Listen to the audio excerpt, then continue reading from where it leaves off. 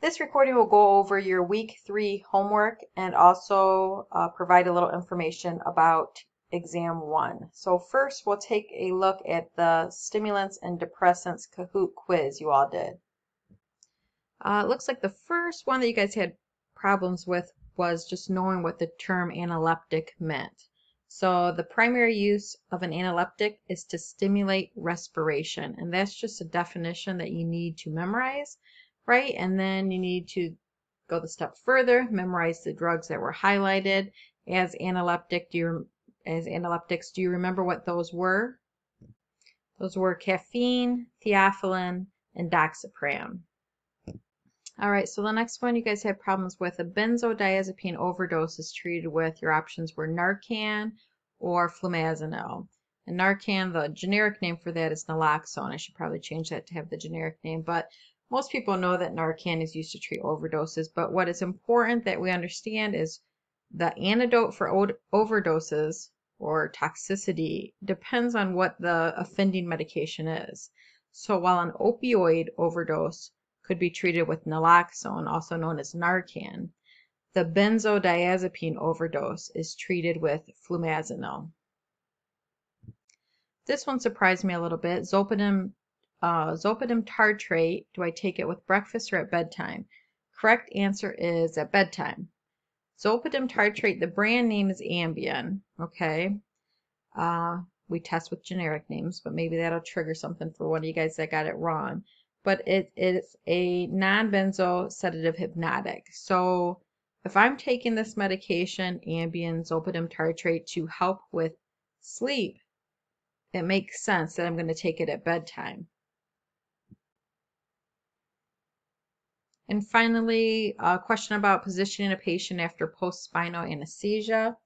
Uh, encouraging the patient to remain flat following surgery with spinal anesthesia and to take increased fluids usually decreases the likelihood of leaking spinal fluid. And it's that leakage of the spinal fluid that can actually cause the spinal headache or the post-dural puncture headache that can result from spinal anesthesia.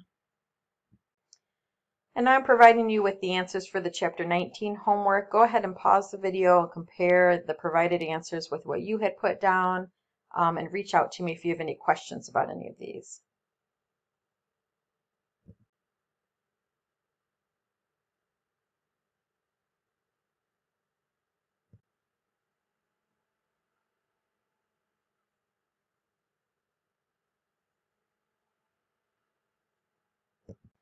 Overall, you guys did really good on the practice quiz. Um, we'll go over some of the more frequently missed questions. So the question about protein-bound drugs.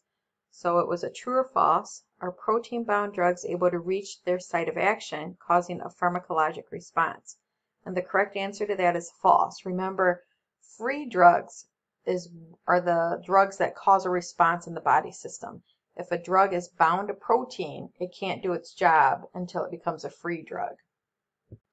And understanding that uh, lets us know why if we take two medications, two different medications that are both highly protein bound, why it can cause problems, right? Because there's only so many proteins, so a medication will end up having a greater concentration of free medication than we normally expect, which can lead to accumulation and toxicity.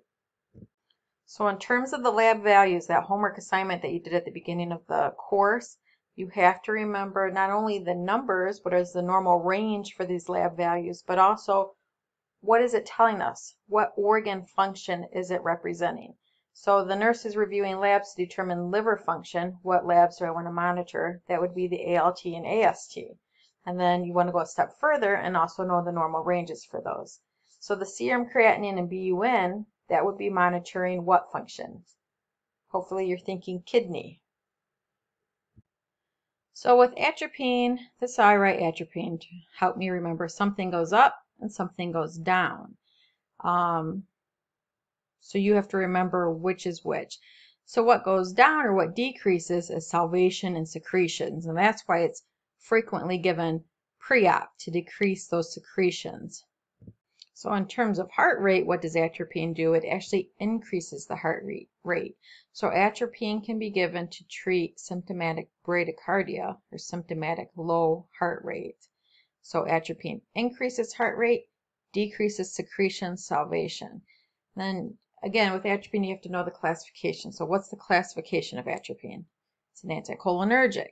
Um, and so then you know the properties of anticholinergics. So beyond knowing that it increases heart rate and decreases salivation, you know you've studied the classifications of anticholinergics and you understand that classification in general. So when you're taking a test or when you're passing a medication, you know what to be looking for in your patient. Normal range of BUN is 10 to 20. Again, this is a lab value that we look at to determine kidney functions, if our kidneys are functioning well.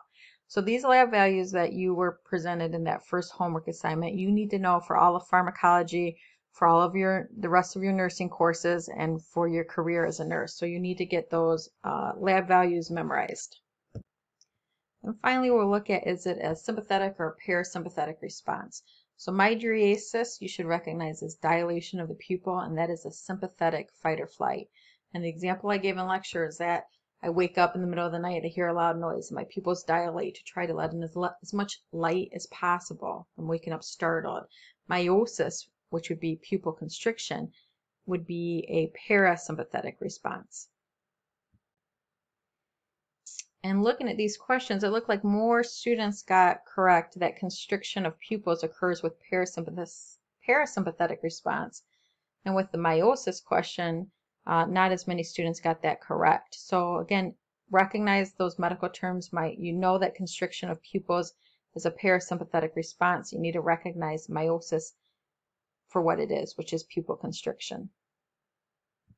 You need to associate constriction of blood vessels with an increase of blood pressure, right? And we know that increase of blood pressure is something I'm going to see with fight or flight. It is a sympathetic response. And lastly, constriction of the bladder muscle so you need to know that constriction of the bladder muscle leads to urination.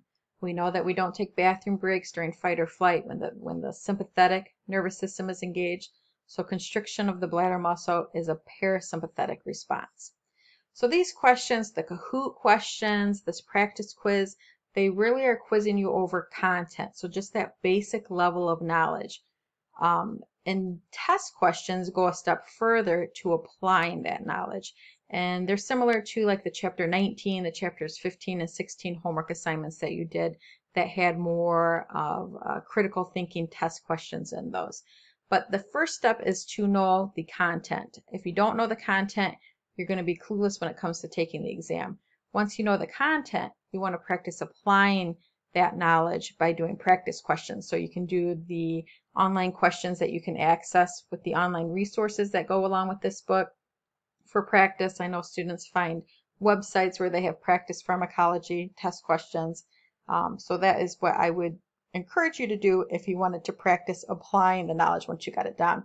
If you did poorly on the Kahoots, got about half of them right, I suggest that you redo those, right, and sort of use it as a flashcard to get that content down.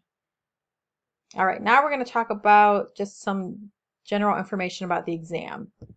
I've had a couple students ask what is the setup of the exam going to look like. Normally, your nursing exams will be 40 multiple choice questions, five select all that apply questions, and five math questions.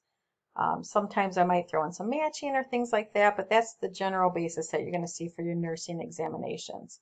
Uh, and again, the questions are going to be more application, so not so much um, true and false and matching and things of that sort, but just testing that you understand the basic knowledge and content, you have that down, and then you're able to critically think through those questions. So an example would be um, sort of understanding the difference between selective and non-selective medications, right? That's just a basic knowledge understanding.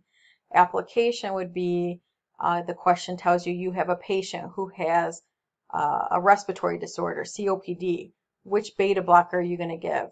And then there's a list of four beta blockers and you have to recognize one my patient has a respiratory disorder a selective uh, medication is going to be more beneficial to that patient and then you then have to know which beta blockers are selective um, so again the exam begins at 8 The room assignments are posted at the bottom of the week three plan and they'll also be posted on the room doors.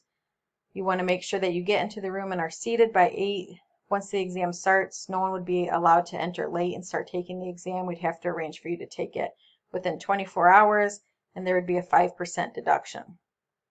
Um, the morning of the exams, I'm not going to be able to answer any questions for you and it's going to be come in, sit down, take your exam. When you're done, um, you wanna, you're going to want to go ahead and exit the building, assuming you're not staying for any open labs or anything like that. Let's see what else. What to bring. Bring a calculator or two. Um, I suggest two calculators, two pencils with erasers. There's no need to lug all your textbooks and everything in with you. Um, if you want to bring it in because you're one of those crammers and you want to study that last five minutes while you're sitting before the exam, that's fine but there's no reason to bring everything in with you if you don't want to. Um, so we talked about once you submit the exam, you're able to leave campus, and you guys already know because the lab, you have to come in through building B. I think everybody knows that, right? So you park in the building B parking lot and come in through B. You have to have a mask and you have to uh, get your temperature scan. Obviously, if you came in and you had a fever and they sent you back out, um, you'd reach out to me and we'd work out something to get you and when you did not have a fever and were feeling well so that you could test. If you're feeling ill or something like that, you need to reach out to me as soon as possible prior to the exam to let me know that you're not going to be able to make it. And again, we'll make arrangements. I will not do any individual exam reviews, but I will talk about the weak areas of the class as a whole. And then students who fail the examination, if we have anyone fail, would be assigned remediation, and that will be assigned based on that student's uh, weak areas. I know some of you guys are probably feeling a little bit overwhelmed with your first pharmacology exam happening for some of you on the same day as your lab competencies. Uh, but as long as you've been staying on top of your material, staying on top of your lab skills and practicing those, you should be able to get through this without um, any issues. For students who wait until the last minute and try to cram right before the test, it's going to be difficult. But if you've been um, studying your pharmacology weekly, daily throughout the week, reviewing things, memorizing those classifications and what's going on with them, and being able to associate the prototype medications with those classifications, um, you're going to be able to get through this. So if you have any questions while studying, send me the question by email and I'll respond. Again, if you're waiting until Sunday night at midnight to send me an email, I probably am not going to see it. Um, but if you do have questions, please email me and I will respond and get back to you so we can clarify any confusion you might have. All right, good luck studying.